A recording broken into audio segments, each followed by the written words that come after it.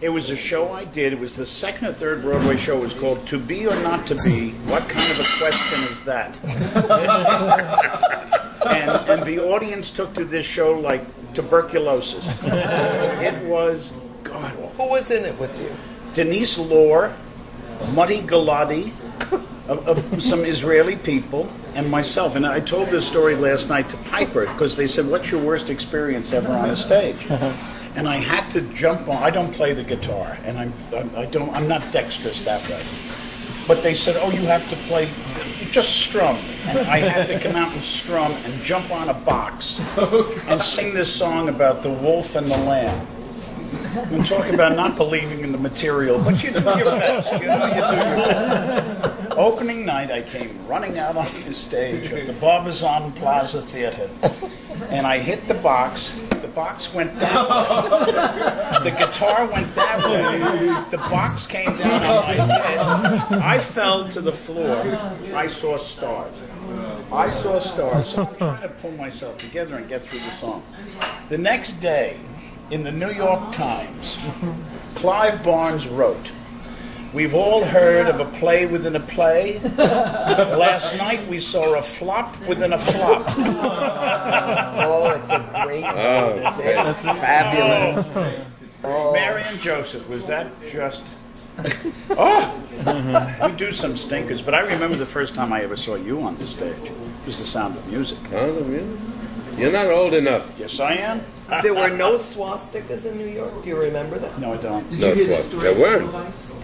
Well, I know it was the last song that they ever wrote together. Yes. Well, the That's true. story- Edelweiss was. Edelweiss. Yeah. Well, but tell us the full story.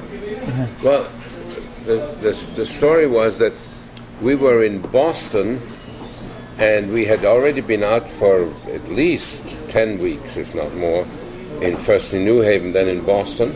And we were going to go into New York in 11 days. And uh, one fine day, you know, we were still futzing around with bits and pieces in the show, fixing this, fixing that.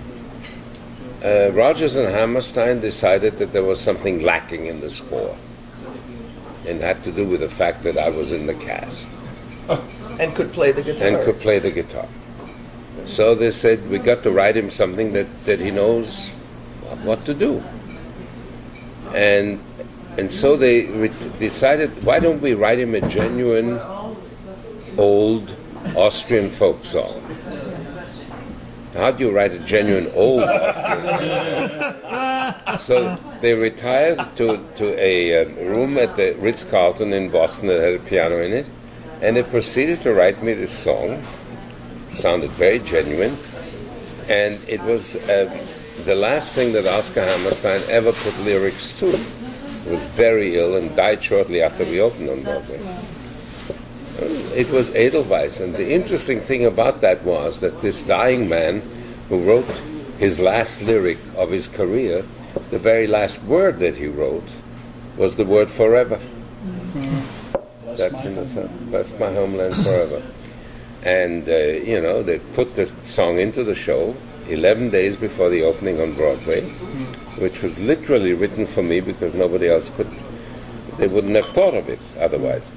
Uh, later, when they did the movie, um, Plummer, of course, does not play the guitar, and, and they, they wanted to do the song or whatever, but they orchestrated it. It's a different, it has a different feeling to it. It was very simple. Well, and they took out a good song. They took Well, out- one of the only good songs. Yeah, took I, out a thought. I good hated song. that show. I also saw. I think that's the Which first is time I the, saw. an ordinary couple? Is that what Yes. they took out? An ordinary couple. And That's then they wrote a couple other things. Something Yeah. good. Yeah, some, that's right. Replace Something that. good. Yeah. Well, it's interesting, you know, that we were on Broadway for two years. And uh, one day, uh, it was a hot day on a matinee. After the matinee, um, you know, I, I never like to go out between shows. I stay into, in the theater.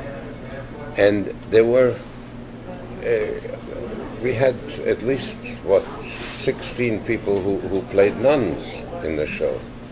And there were, the nuns were outside the stage door, and the stage manager said to them, What the hell are you doing out there? Get your asses back in there.